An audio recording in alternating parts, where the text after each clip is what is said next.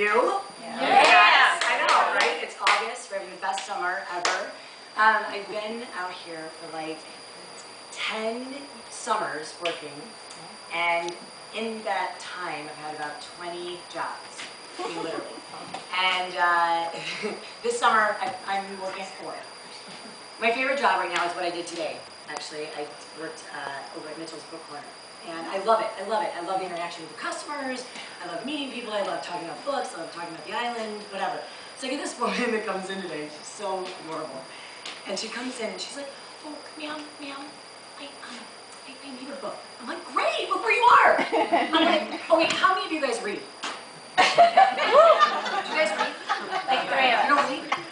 Okay, good, so you guys know what books are, right? Okay, got it, got it. So she comes to the bookstore, she's so cute, she's like, I need a book, I'm like, you're in the right place. She's like, but, um, I don't know the name of it. I'm like, okay, that's okay, you know, we're gonna find it, we're gonna find it. Who do you think wrote it? Maybe author's name? She's like, well, I, I don't know.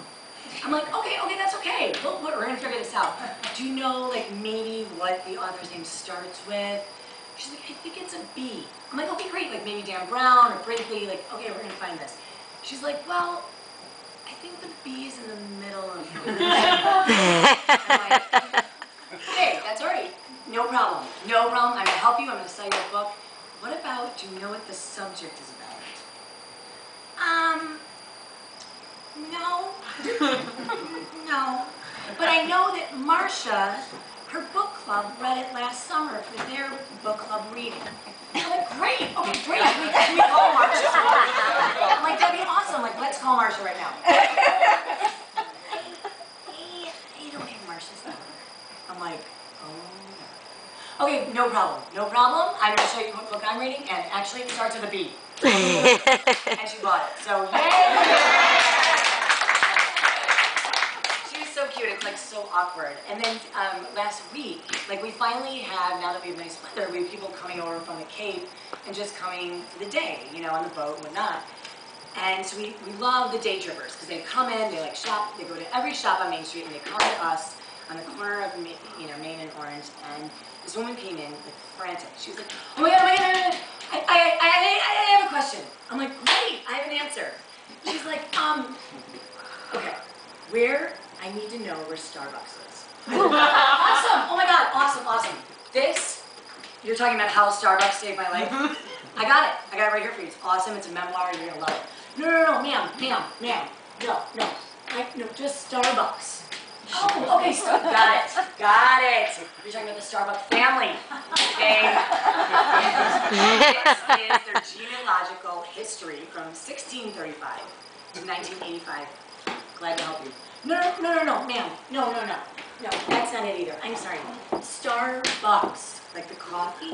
Like I want I, coffee. Go, okay, got it, got it. You're talking about Starbucks. Is this it? she looks at me. She looks at this.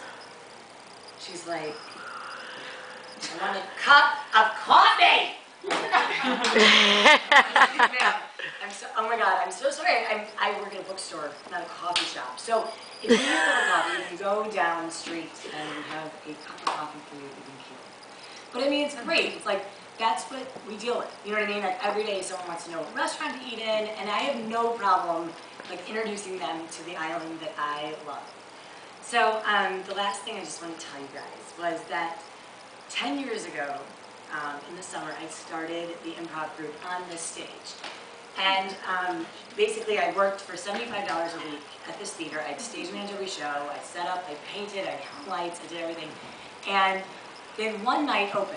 And instead of giving Molly a night off, they said, what would you like to do uh, on Sunday night? Because Kevin Flynn does his comedy on Monday, and we have Sunday nights open. And I was like, you know, I'd love to start an improv group because I've done improv in college, I've studied a little bit in Chicago, where I'm from, whatnot, so I started an improv group. So we come, we do improv every Sunday night, and it's still running. Has anyone seen it? Woo! Yeah! Awesome. Well, I'm not in charge of it anymore, but I still come and see them, and sometimes I play with them, and it's really fun. So we have this gig, uh, one of our little skits, and we do, um, it's called National Geographic. And I sit with um, one of the other improvisers, and we sit next to each other, and we describe freeze frame slides. So we like play the game National Geographic, and I get three suggestions from the audience. I get an animal, I get a characteristic about that animal, and I get a place. So this particular night, it's an ant-eating polar bear from like Montego Bay, Jamaica. you know, we've done it all, doesn't matter. So Chris and I are sitting next to each other. My improvisers are all we usually line you know, the stage with the chairs. So meanwhile, right before I came into the show, I ran into my friend Captain Brian. I could smell Captain Brian's breath from about a block away. Like he had been obviously belly up at the bar all of a sudden, which is fine. It's his day off. He's on Nantucket. But anyway, I run into him. He goes, "Where are you going?" I go, "I'm going to my improv show. Come and see us." Like whatever. So I get in, you know, I start hosting the improv and whatever, and he's actually sitting right where you are. So, so I'm like, oh, Captain Brian's here, great, you know, but he'll be fine, whatever, he's just coming to see the show, he's hammered, he'll probably pass out. Well, meanwhile, during, we uh, start the National Geographic show, the, uh, the skit. And what happens is, we set up the plot, and the lights go down to black. And my seven improvisers get into like crazy, you know, they get into like this random like formation of like whatever they do. Like some people are like this, and some people are like doing things on, you know, whatever.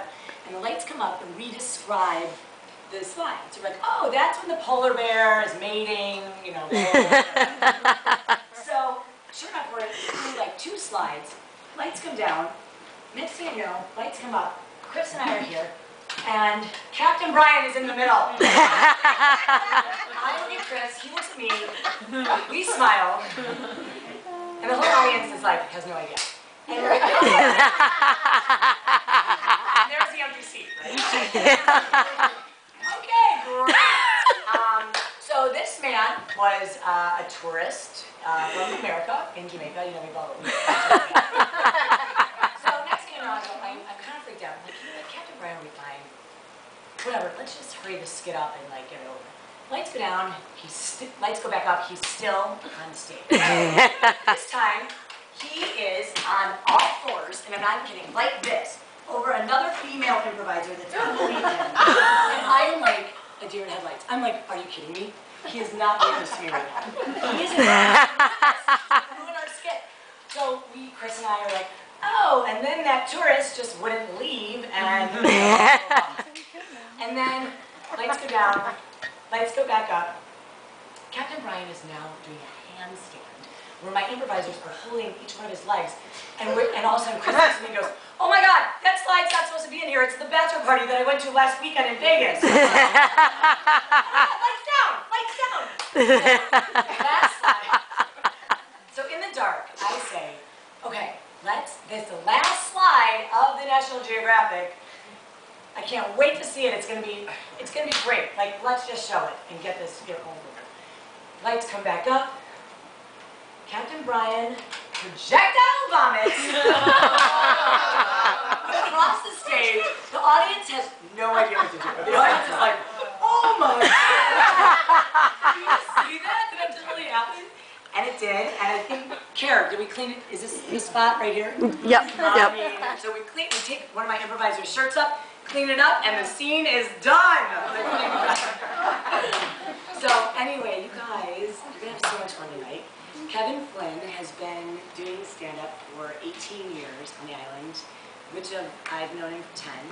He's done Sex and the City, Dumb and Dumber.